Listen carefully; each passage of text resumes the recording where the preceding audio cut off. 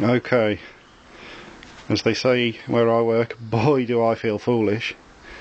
This is the system that I've been given, which I genuinely didn't look at, I just bunged it in the shed.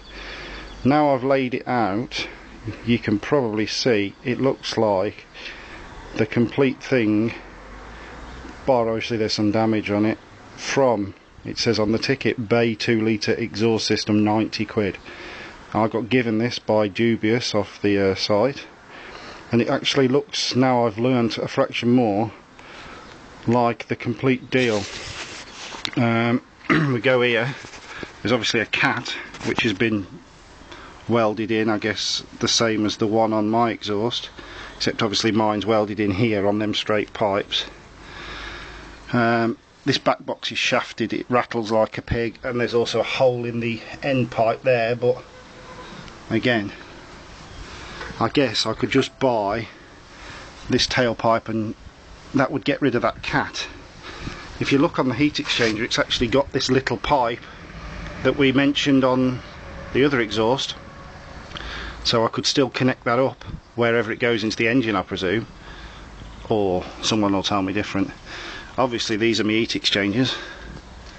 Um, and I'm hoping that that goes straight into my engine. So I just need gaskets for that. And then I'm guessing this will self-explanatory bolt on the bottom of the engine somewhere. And then presumably pipes would go on there if I had them. And then them pipes there go and meet up somewhere around the underneath where I haven't got any. So in theory, this is a direct replacement for the crap I've got on and would probably adapt a lot easier. These things rattle though, um, but I presume they do that. Someone tell me different, maybe they mount and I've just got to buy some mounting brackets, I don't know, but I can't see you being able to leave that on like that. Do you get what I mean?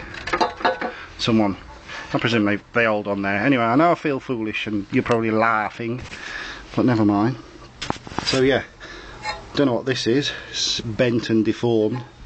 Maybe it's a strengthening bracket or something, but I suppose that's easy enough to adapt. So, thoughts please guys. That's my slippers, they're gay aren't they? And uh, yeah, we'll see how we go from there.